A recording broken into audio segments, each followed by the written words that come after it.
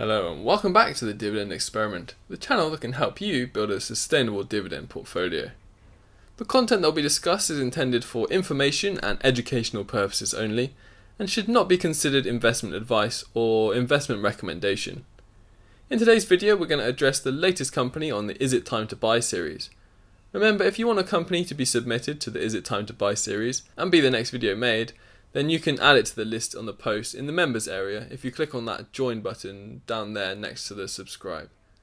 The reason I made it members only submission is just because of the number of requests and it wasn't fair that I couldn't have time to make all of them, so now it's on a priority submission basis. But videos will always be available for everyone to watch on the channel. As always, these videos aren't a recommendation to carry out any activity, whether buy, sell or hold, but I'm just giving my thoughts and can serve as a basis to do your own due diligence. In today's video, we're going to take a deeper look at Unilever plc, ticker symbol ULVR, listed on the London Stock Exchange. It's a UK listed company this time around, so the good news is that if you buy this, there's none of those nasty fees or withholding taxes. So, what type of company is Unilever? Unilever plc operates as a fast moving consumer goods company in Asia, Africa, the Middle East, Turkey, Russia, Ukraine, Belarus, the Americas, and Europe.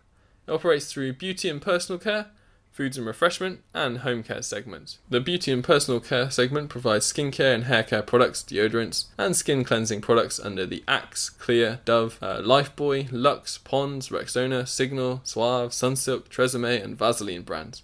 The foods and refreshment segment offers ice cream, soup, bouillons, seasonings, mayonnaise, ketchups, and tea categories under the Ben & Jerry's, Breyers, Brooke Bond, Heart, Wall's, uh, Hellmann's, Knorr, Lipton, Magnum, The Vegetarian Butcher, and Unilever Food Solutions brands.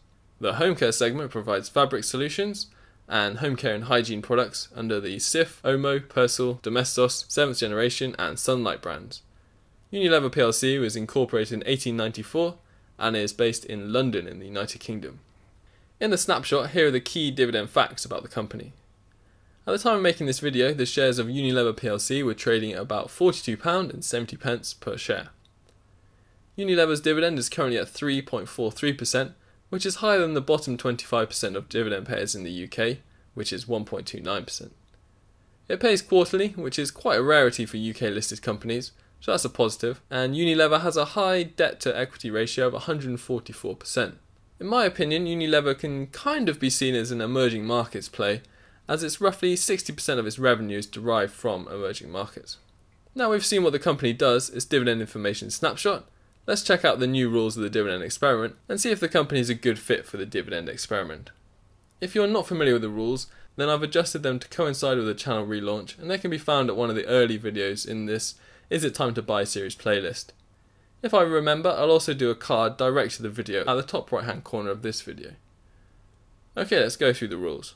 Rule number one the company pays a dividend or is likely to pay in the immediate term.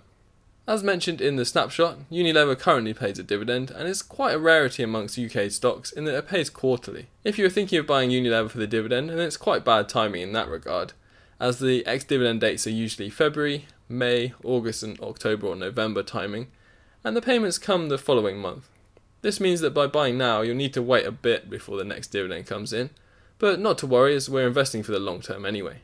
On the video about the rules, I mentioned looking for a yield somewhere in the 3 to 8% range for stocks, and Unilever just about scrapes in the bottom of this range, as its current yield is at 3.4% roughly. To justify having a dividend that low, we should see what else this company can offer. Rule number 2 the company is a natural dividend payer, judging from its industry or business model.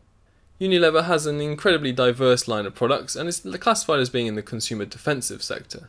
For those not familiar with consumer goods, they can be split into two sectors consumer cyclical and consumer defensive. Cyclicals are exactly that, they are much more volatile as they'll go up and down with the market, as consumer tastes will change over the course of a year or longer time period.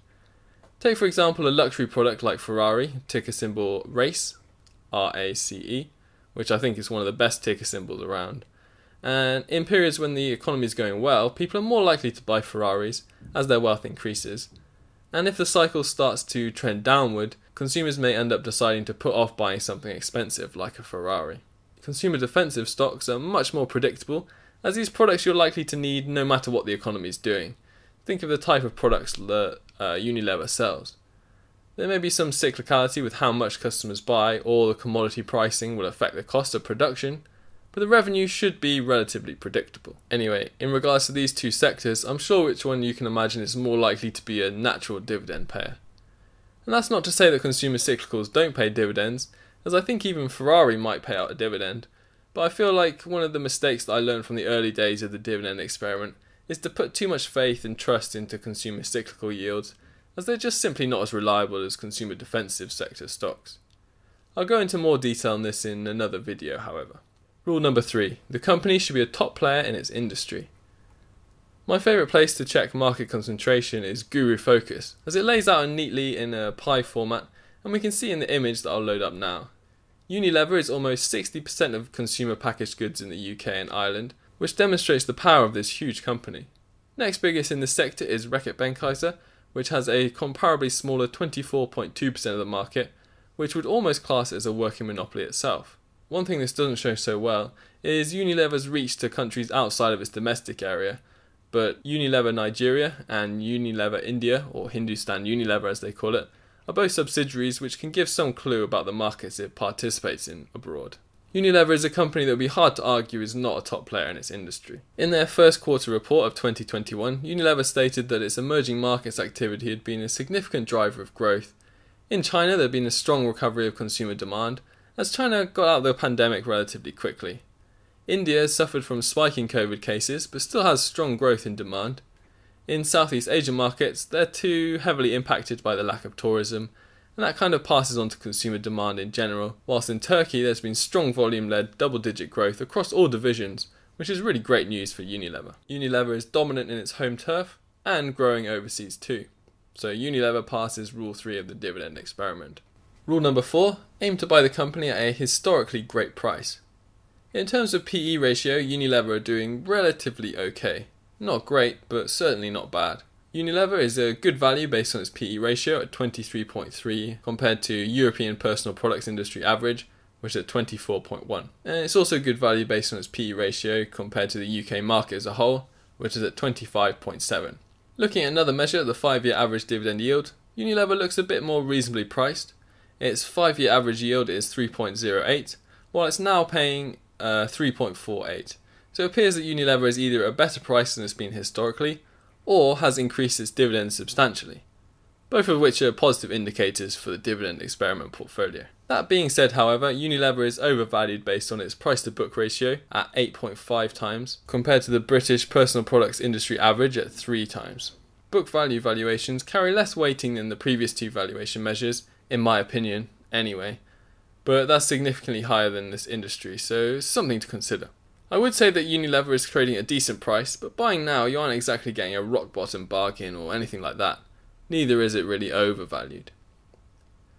Rule number five the company is growing and innovating as it matures. Once you get to the size of Unilever, it's difficult to grow, and innovation can get difficult if you have to manage 160,000 employees over 190 countries. With that in mind, here are the ways management are proposing the potential innovation within the company. From an earlier investor presentation, Unilever has been successful in cultivating a significant presence in developing markets. Currently, the firm derives 59% of revenue from emerging markets, with a heavy focus in Asia and Latin America. In Asia, India accounted for 9% of turnover, while China and Indonesia both contributed 5% each. In the first quarter of 2019, emerging markets led the firm's sales growth by posting a 5% increase of the previous year, compared to essentially flat sales in developed markets. Increasing market share is probably the most logical route to growth for a company such as this, but what about innovation? In Unilever's investor presentation for 2021, innovation is mentioned as a key focus for operational excellence, but then is barely mentioned throughout the rest of the presentation, other than being kind of touched on in certain product sectors, but it's always very vague and not very specific as to what the innovation entails. In their 2020 annual report, it's a similar story, however, they do give a bit more detail, and Unilever says that it will try to innovate by improving the health of the planet, improving people's health, confidence, and well being, contributing to a fairer, more socially inclusive world, and trying to win with differentiated science and technology. And these are all just things that sound good but don't really give much in the way of substance. Overall, I'm not convinced by their innovation plans without seeing something more specific. I think that Unilever is more of a company that will grow as emerging markets develop, rather than creating anything particularly innovative or exciting itself. For that reason, I don't particularly foresee any sudden jumps in share price, but that's to be expected really, considering its share price history and market beta of only 0.13. Rule 6. The company is a sustainable dividend payer. First thing to look at for this rule is the payout ratio. Unilever's payout ratio is pretty high at 76.83%. That, however, is forecast to decrease going forward as Unilever's dividends in three years are forecast to be covered by earnings at a 66.7% payout ratio. Not an amazing level of security, especially with a dividend yield on the lower end, but it's still pretty safe if you consider its history, which we cover next in rule number 7. Rule number 7 the company has a history of dividends. Unilever has a track record of paying dividends for over 25 years and has shown its commitment to its shareholders through this. Total dividends paid in 2018 was 4.1 billion euros and has increased by 100 million euros each year since then. The board's decision to maintain the dividend as part of Unilever's multi stakeholder response to COVID 19 was very welcomed by shareholders. Rule number 8 the company must have a strong moat. Morningstar, which is the kind of moat analysis company it seems like, as they're obsessed with moats over on their website, describe Unilever as having a wide moat. I would imagine a significant reason for this is the company is so large it benefits from substantial economies of scale. Cost of doing business is lower when you can buy in such bulk quantities, and their logistics network will be difficult for small players to overcome. Fixed management costs can be spread over a greater amount of output, and the list goes on like that. The number of brands that Unilever owns is quite incredible too. If you go to your bathroom or kitchen cupboard in pretty much any country in the world, you can probably find something that's owned by Unilever. In one small example, if you wanted an ice cream, anything made by Wall's, Magnum, Cornetto, and even Ben & Jerry's would all be sending your money straight to Unilever. Brand power and loyalty supports increased pricing and helps boost margins. Some of the extra profit is then reinvested into next year's marketing budget keeping this virtuous circle spinning. There may be a threat to this with smaller brands trying to carve out niche markets for themselves, but Unilever can compete on price while the small brands have to compete on non price differentials. Summary and verdict. Okay, we've gone through the actionable rules for Unilever plc. What do I think? Is it a buy, a sell, or a hold right now? I'm going to say that it's a decent buy or a hold. Nothing here indicates that it would be a good time to sell, particularly, but then it's not an incredible bargain price, nor are there any specific catalysts that would make me think they'll shoot up in price. There has been some insider selling, but that was roughly a year ago and a higher price than Unilever's uh, selling at right now. Since then, there's only been insider buying at lower prices than it's trading at, so overall, this isn't such a warning flag as it may initially appear. Personally, I'm thinking of buying a small amount of Unilever in the dividend experiment portfolio in the next week or so as it fits my aims of being incredibly low volatility regular and sustainable payments, and a sort of proxy for an emerging markets ETF in a sense. I will update you guys if and when I confirm that, however. What do you think of Unilever? Its slow and steady growth is not one for everyone for sure, but perhaps it suits your investing style. Leave your comments and thoughts below. I actually really like to see what you guys think. If you think the dividend experiment is interesting, I need you to do four things. First, hit that subscribe button and the bell so you can stay informed for every video and update. I'll be making a whole range of videos that should help you on your journey to build a sustainable dividend portfolio. Second, use the link in the description to head over to eToro, see how the experiment is going right now live, and you can even join along if you like too. Third, if you're a new investor, I highly recommend the Dividend Academy. Completely free to join, gives you bite sized lessons to get started investing, with none of that nonsense that others try and sell you for sky high fees. Finally, open up a brokerage and get started building a sustainable dividend portfolio. I have some that I recommend in the description, and some would even give you a free share just to start you off. Thanks for watching, hope to see you on the next video. See ya!